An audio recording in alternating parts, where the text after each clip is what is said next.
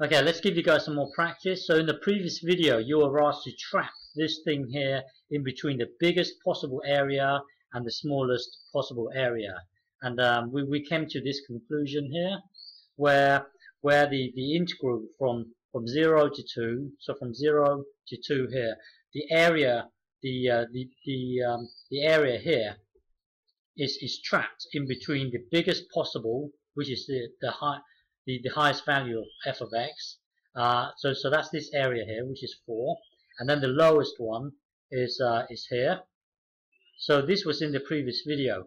Um, so now we are going to, so rather than splitting up into, into, into one, just one part here, we are now going to split it into four parts. Okay, so, so same problem, but this time we're going to split it into four parts. And then, and then, um, and then um, and then, well, our, our, aim here is to increase the accuracy here. At the moment, it's, it's somewhere in between 2 and 4. So now if we split up into four parts, we can narrow this, this band here. Okay, so, so now we're going to split into four parts. Hang on.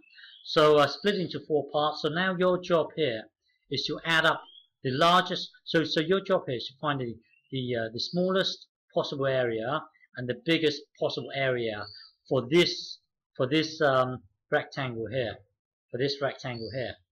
Okay, so so for this so for this rectangle here, the biggest possible value would be would be well in in uh, in the uh, in it, it, well from zero to uh, to a half here. So from zero to a half here. Uh, what is the what is the highest possible value of this thing here? Well, the highest possible value would be would be right would be right here. Okay, so, so the highest possible value would be right here. And then you've got to times that with, with the width. So you've got to times that with the width here, which is a half. Okay, and then uh, and then uh, and then and, and so on. So your job here is to find the largest possible value for this rectangle, and then the lowest possible va value for this rectangle. So that will go here, and then and then do the same for this uh, the rectangle here. So that would then then do the same for that rectangle. And then the uh, and then the third one here. Do the same for this third one here. So for this third one here, your job is to um, to to come up with the highest possible value and the lowest possible value here, and so on. Okay. And uh, for for this last one here, be careful because the last one here, you um you've got to decide which is higher. This one, this point here, or or this point here.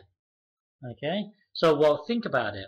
So, so for the last one, you've got to be careful. Okay, this point here and this one here. You have to develop a way of finding out which is which is higher. Okay, so um, looking at this here, fill uh, fill this in here. Okay, so find all these values here. Okay, so um, press. Hang on. So um, press pause and uh, well, hang on. So press pause and, uh, and have a go. Okay, so to do this here, as it turns out, it will be this. Okay, so um, think about it. Look, uh, look back to this, to uh, to this diagram, and think it through. Um, it, it should, it should give you um, give you this. Okay, it should give you this. So now you um, you've got to think. Um, hang on, let me think. Uh, oh yeah, uh, once you're here, um, you've got to sum up all the integrals here. So, uh, so, so when, when you sum up everything, you've got to ask, what's the biggest possible value here? Well, the biggest, uh, this area here, the, the biggest possible value for all, for the sum of all four would be you getting all the biggest possible values here. So you've got to add up everything here. So the pos, so, so from, from zero to two, so remember up here, it's just, um, it's just in segments of a half. So a half, a half, a half, a half, and so on. So now sum up everything. So now it's from 0 to 2. Well, you've got to think um, the biggest possible value that this thing here could be would be you summing up all the biggest possible values. So, so all the po biggest possible values would be this, would, would be these. So, um, so you would, uh, you would, well, sum everything up, and it will come to this and then and then for for this bit here think what's what's the smallest possible value that this thing here could be Well, the, possi- the smallest possible value that this could be would be you summing up all the smallest possible values for all these here. So add, adding up all of these will um, will give you will give you this. So now the answer here. So so now the the true area would be somewhere in between here and here. So you see this here is, is more accurate. In the previous video it was between 2 and, uh, and, and 4.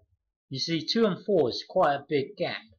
You see we've now narrowed it down. So now it's getting more and more accurate. So, so rather than splitting into four parts, if you split into a million parts, then, then it will give you a better answer.